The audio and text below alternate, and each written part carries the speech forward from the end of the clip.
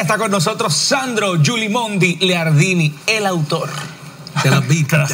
Porque hoy es jueves de gotas de vino, así que bienvenido Sandro, como siempre, buongiorno. Buenos días, buongiorno, buongiorno. Usted sabe, dije esta mañana que es el día del dumpling y tú vas a hacer un maridaje. Sí, porque, ok, vamos a hablar del dumpling, ante todo. De origen oriental, sabemos que viene de ahí, pero realmente se difundió y se hace en todo el mundo el dumpling. Imagínese que usted va en Italia y va en un restaurante oriental, lo que van a encontrar es una cosa que se llama ravioli al vapore. Oh, O sea, que, ravioli, que son tan orgullosos esos italianos que no quieren darle crédito al dumpling. al dumpling y le han llamado ravioli al vapore. Está bien, bueno saberlo. Pero no te creas, porque lo que es en Ponce que se come, ¿Qué se come en Ponce? Bueno, pastelillo, ¿no? Panadilla, papá. ¿Es panadilla? panadilla, pastelillo para acá. Estos son... Empanadilla, empanadilla. bueno, pero empanadilla es la del trenzado. Empanadilla es empanadilla. Y no vamos a discutir. No, no, no, me quites. Entonces, pero es un tipo de dumpling. Es un tipo de dumpling, solamente que la cocción es diferente. Ok, si hablamos del oriental, sabemos, vamos a ponchar un momento la, la imagen. Aquí tenemos tres cosas. La primero, la masa, ¿de qué está hecha? Sabemos que es como una bolita, un pedacito, como un raviolo realmente, hecho de o arroz, harina de arroz, o harina de trigo, o harina de tapioca. ¿Ok? Y el contenido, el relleno, normalmente es cerdo, camarones, rico. vegetales y raramente alguna vez carne, algunos lo hace de pollo, etcétera, etcétera. Así que volvemos a nosotros. Realmente, ¿qué pasa? Que este es un plato liviano es un aperitivo y por ende no podemos poner vino fuerte. Así que aquí le tengo una solución para todos los amantes del vino. Que vino son suave para un, para un aperitivo suave.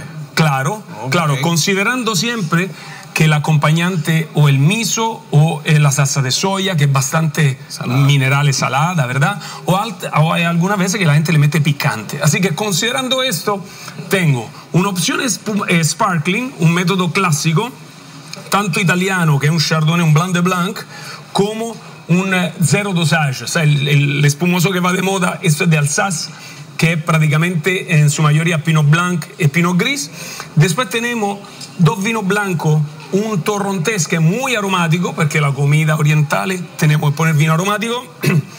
y si nos gusta picante, tenemos que poner un Riesling o un Gewürztraminer que tenga residual de azúcar, para que sea un poco dulce. Lo rosé va muy bien, especialmente si son dumpling de carne o de, de, cerdo, obviamente. Aquí hay un Pinot Noir y aquí hay un, de Sierra Cantabria una mezcla de garnacha en su mayoría viura. Y terminamos con unos blancos un poquito más fuertes, estructurados, que son Chardonnay. Así que tenemos un catena aquí de Argentina y un eh, Domaine d'Arduy de Francia, si alguien quiere un poquito más algo clásico. Así que yo no me iría fuera de este nivel de fuerza porque el dumpling, repito, es una cosa, aunque uno lo quiere freír, si freír va directamente con el espumoso, pero si después lo pone a la plancha o lo pone, lo termina al vapor, son suaves. Así que vamos con vino liviano, de medio cuerpo, no pongan vino fuerte robusto porque no lo van a disfrutar. Y yo creo que viene muy bien para un jueves. Así que. Yo creo que sí. Es importante, por favor, aquí el domingo estaré en Casa Norberto para la presentación y la firma de eh, mi libro, La vida eh, así que a las 3 de la tarde en Casa Norberto lo espero, a todo lo que quiere compartir conmigo y así vamos a conversar sobre mi, esta creación. Qué bien, tu más reciente proyecto. Así que aprovechando La Vida Tour.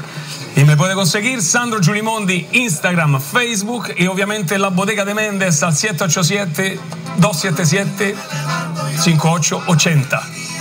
Ahí está. Gracias. Gracias, Sandro. Aprendieron de Dumplings. Sí. Bueno, no, o de ravioli. Me comería, al vapor. ahora mismo. ¿Pastelillo o empanadillo? No, ya Jorge dijo que no vamos a pelear. pastelillo de guayaba. un tapaboca, o acá el callao.